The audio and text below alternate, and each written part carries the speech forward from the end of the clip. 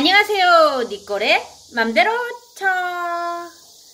예, 오늘은 바로 쉽고 재미있는 영어 동화책 소개 시간인데요.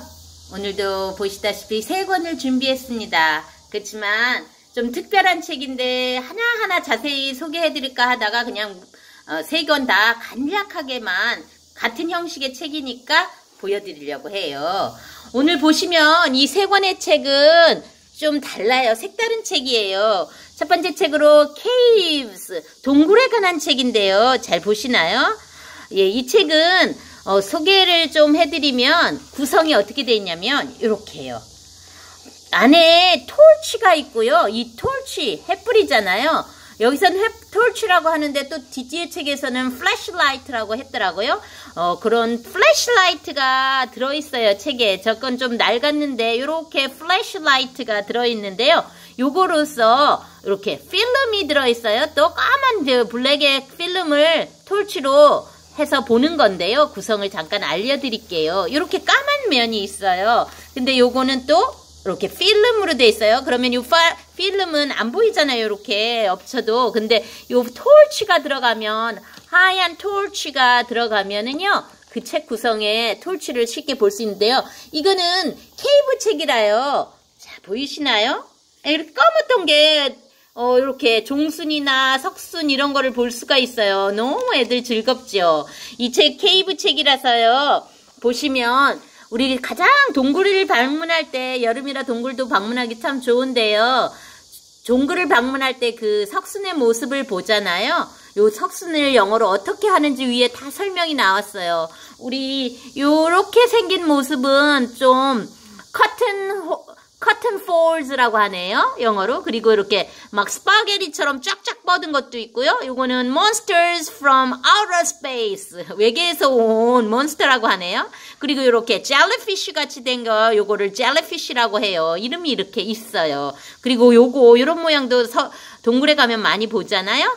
바로 a pile of plates 접시를 엎어놓은 모양이라고 하네요. 이렇게 흥미로운 그리고 이렇게 예 우리가 roof에서 떨어지는 어, 것으로 기둥을 만든 자라 그래서 우리말로도 기둥을 하는데 영어로도 pillar라고 해요. 이렇게 아 동굴의 모습을 아, 이 torch 하나로 각각 요 내가 뭐 본 스파게티 모양, plate of pile of plate 모양, 또 이렇게 아까 말한 커튼 폴스 이렇게 다 찾아볼 수 있어요. 정말 신기하죠. 이 책에는 그래서 동굴에 관한 모든 것들이 이렇게 어, 중앙중앙 중간중간으로 필름으로 돼 있어서 들어가서 재밌게 볼 수 있어요. 이렇게 또 동굴에 대한 동굴 탐험가를 영어로 뭐라고 하는지 아시나요? 어, 저도 이 책 보고 알았어요. 팟 홀러라고 한다고요. 팟 홀러. 그래서 팟홀러 여기 글씨가 나와 있죠. 팟홀러라고 해요. 동굴 탐험가. 동굴컷 탐험가가 되고 싶은 아이들이 꿈으로 있나요? 이렇게 톨치로 들어가 보면 다 그림이 나오죠. 어떤 거를 보고 있는지, 어떻게 하는지, 어떻게 올라가는지 위에 설명도 돼 있고 직접 차, 이렇게 그림으로 확인하는 작업이 있는 작업 책입니다. 아이들 흥미롭겠죠. 모든 동굴에 대해서 이렇게 어, 필름으로 아주 재미있게 흥미롭게 구성되어 있는 책 그리고 동굴 안에 사는 생명체까지 또 다 있어요. 어, 동굴 안에 사는 동물들도 있고요. 네, 그래서 이 책 흥미롭게 cave에 대해서 이렇게 볼 수 있는 torch를 밝혀서 볼 수 있는 책이었고요. 아, 또 human body 같은 구성으로 되어 있는데요. 이게 조금 더 늦게 나왔더니 이제 hidden world 시리즈로 해서 나온 것 같아요. 아까는 fla torch light로 이렇게 나왔었는데요. human body도 너무 흥미롭게 돼 있어요. 역시 아이들의 오감각에서 아, 이렇게 뼈부터 어, 얘기를 하고 있는데요. 뼈 속을 아이들이 이 필름으로 까맣게 된 필름으로 해서 이렇게 볼 수 있죠. 뼈 구성 아, 안에서 여기 흥미롭게 Empire State Building 아 no no no Statue of Liberty도 어, skeleton으로 되어 있다고 옆에 설명이 나와 있죠. 보이죠? 뼈 이렇게 철제 구성으로 아이런으로 이렇게 되어 있는데 사람 몸도 이렇게 뼈대가 있다 하면서 이렇게 톨치로 찾아보는 거예요. 어, 보기만 해도 아예 흥미롭죠. 그리고 또 이렇게 과학자가 어, 현미경으로 사람 세포를 보면 머리에서부터 머리카락에서부터 백혈구, 적혈구, red blood cells and 뭐 white blood, 적혈구, 백혈구 그리고 brain cells 그리고 어, egg and sperm cells 바로 정자, 난자 이런 것까지 다 보여주고 있네요. 아 우리 아들 지금 다시 봐야겠는데요.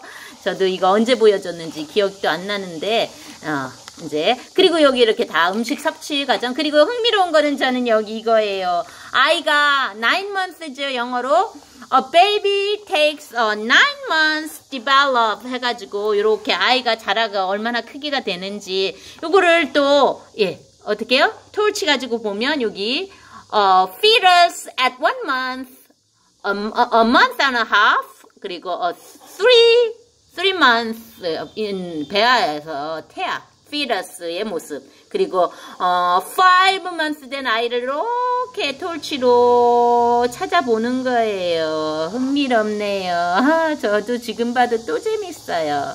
이렇게 휴먼 바디에 대해서 톨치로 필름으로 해서 볼 수 있는 책이었고요. 그리고 언더그라운드 아이들도 underground도 굉장히 흥미롭죠.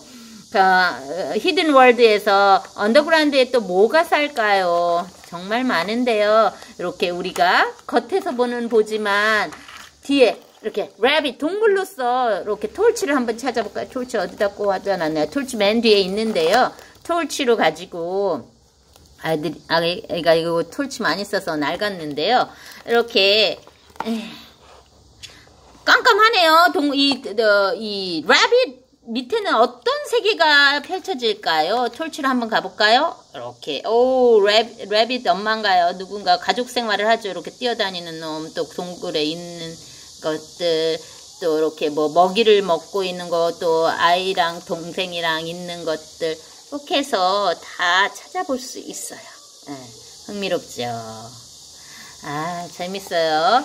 아 이거 저도 옛날에 보여주긴 했는데 기억도 안 날 것 같고 어릴 때라 지금 다시 이렇게 동물의 세계에 어, 필름으로 두더지 모는 어떻게 땅속에서 살고 있나 이렇게 또 한번 찾아가 볼까요? 오 두더지 색 뭐 새끼라고 하나요? 보세요. 두더지 알도 있고요. 이렇게 어, 얼스웜을 먹는 거, 지렁이를 먹는 거, 또 뭐 알 까는 거 다 있어요. 이렇게. 어, 톨치 밝히면서 애들 요 자체로만 해도 너무 좋아하지요. 예, 아, 이디어 정말 좋은 책인 것 같아요.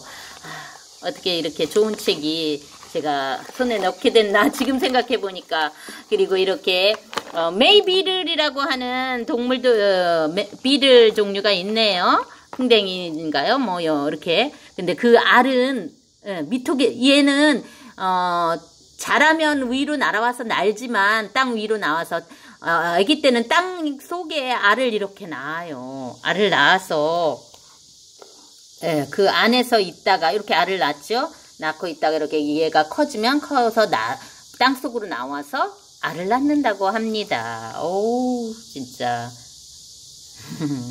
그 자체로만으로도 아이들 너무 좋아할 것 같아요. 어린애들부터 이제 컸으니까 크면은 글로 읽고 또다시 remind 하는 작업.